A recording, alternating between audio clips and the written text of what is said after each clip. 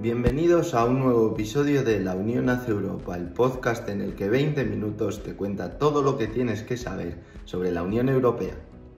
En el apartado de actualidad, la semana está marcada por eh, varios hitos. Todo está en movimiento para que se inicie la nueva legislatura en la Unión Europea, la décima legislatura. Lo hará la semana que viene en Estrasburgo. Además, estos días se está celebrando la cumbre de la OTAN en Washington. La Alianza Atlántica cumple 75 años y centra su encuentro, centra el encuentro de líderes sobre todo en reforzar el apoyo a Ucrania, en mantener ese empuje frente a la invasión rusa, pero también con un ojo puesto en cómo va evolucionando la candidatura de Joe Biden a las elecciones presidenciales de Estados Unidos que se celebran el próximo mes de noviembre y en paralelo también a un posible, digamos, riesgo de una vuelta de Donald Trump que podría erosionar esa alianza atlántica, esa OTAN. Una OTAN que va entrando ya en el proceso también de cambiar de secretario general. El ex primer ministro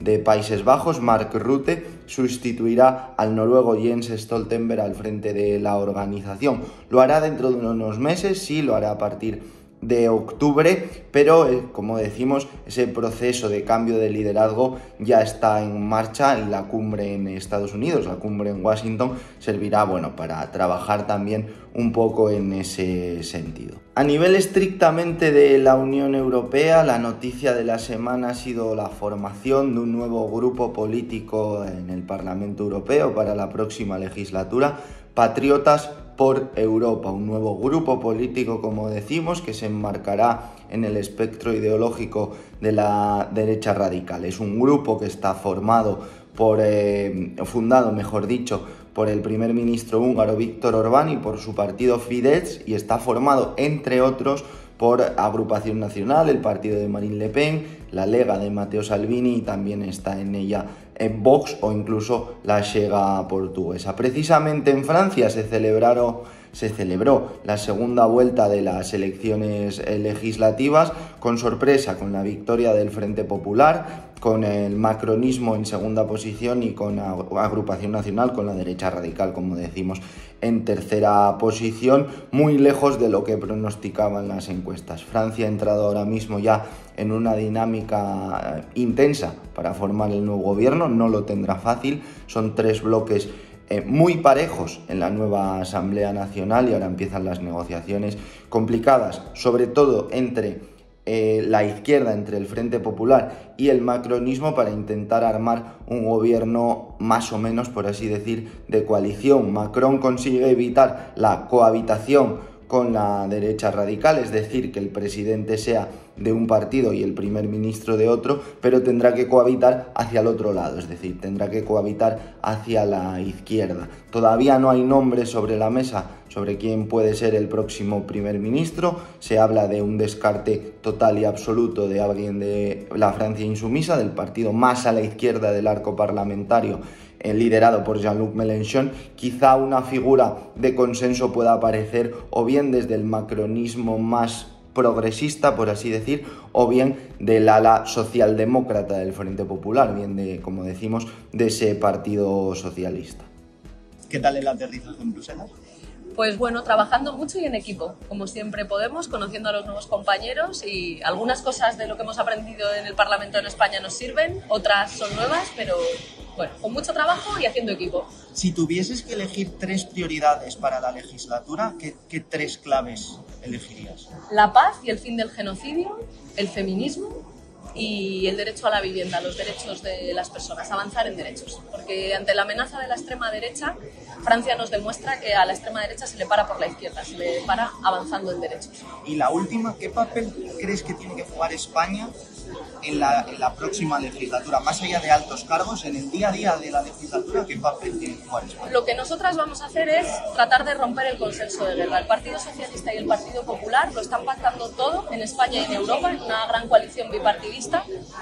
cuyo principal eje es la guerra. Es un gran consenso de guerra. Quieren que haya una escalada bélica, quieren aumentar el gasto militar y eso nunca viene solo, siempre viene con recortes y con el cuestionamiento de los derechos, especialmente los feministas y LGTBI. Pues a romper el consenso de guerra y a defender paz, feminismo y derechos. Gracias, Irene. Gracias. En el apartado de curiosidades vamos a hablar de lo que será el primer pleno del Parlamento Europeo en la nueva legislatura, en esa décima legislatura, que arranca oficialmente este lunes 15 de julio lo hará en la ciudad francesa de Estrasburgo, es decir, donde se celebran las sesiones plenarias de la Eurocámara y lo hará con dos hitos fundamentales que serán la elección de la presidenta o presidente del Parlamento Europeo. Todo parece indicar que va a continuar al frente de la Eurocámara la maltesa Roberta Metsola, es decir, la actual presidenta. Ese será el primer paso del Pleno para que todo empiece a rodar de nuevo. Recordemos un Parlamento Europeo que en estos próximos cinco años tendrá 720 eurodiputados. Otro momento clave para los eh, amantes de la Unión Europea o para los eh, políticos para esta nueva legislatura será la elección, también la votación de la presidenta de la Comisión Europea. Ursula von der Leyen, actual líder del Ejecutivo Comunitario, salió nominada por parte de los líderes de los 27 hace algunos días, pero ahora tendrá que pasar el voto del Parlamento Europeo. La mayoría centrista en la que se supone que se va a apoyar, formada por Partido Popular Europeo, socialistas y demócratas, liberales y muy probablemente también los verdes, suma con creces una mayoría más o menos holgada para que pueda pasar esa barrera.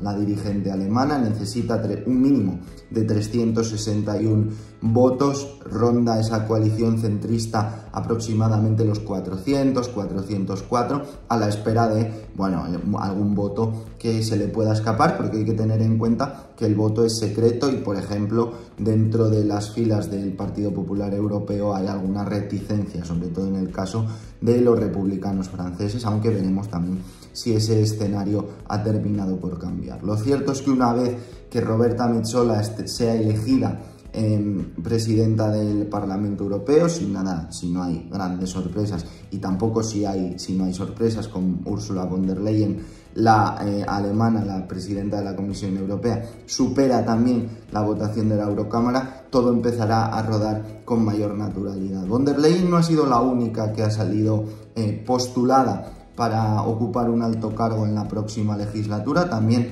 ha pasado lo mismo con Kaja Kallas, la que hasta ahora ha sido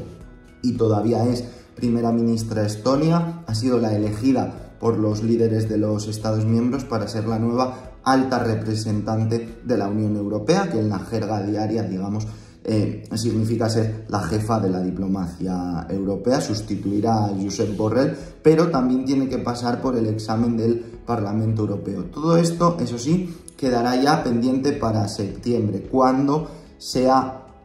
el momento de los comisarios, es decir, el colegio de comisarios tendrá que en bloque pasar la votación del Pleno del Parlamento Europeo y cada comisario tendrá que pasar, como decimos, un examen en la comisión correspondiente a su tema dentro del Parlamento Europeo. En el caso eh, particular de Kaya Kalas tendrá que ser la Comisión de, de, Exteriores, puesto que ella, además de alta representante, será vicepresidenta de la Comisión Europea. El puesto que está 100% asegurado para la nueva legislatura y ya no necesita pasar más filtros es el del nuevo presidente del Consejo Europeo, Antonio Costa, el portugués, el ex primer ministro portugués, sustituirá a Charles Michel, llegará al cargo, como todos, a partir del 1 de diciembre de este año, de 2024, pero él ya sale completamente, digamos, nombrado, el proceso empieza y acaba en los líderes de los Estados miembros que eligen directamente a su, digamos, jefe durante la próxima legislatura, como decimos,